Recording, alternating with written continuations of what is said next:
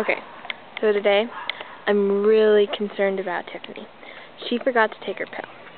And without her pill, she gets very violent.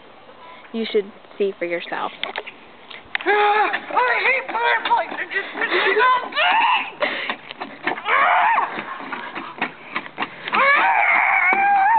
Now, Tiffany will be okay once she gets her pill.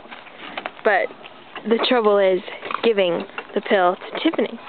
I don't like pills. I don't like children.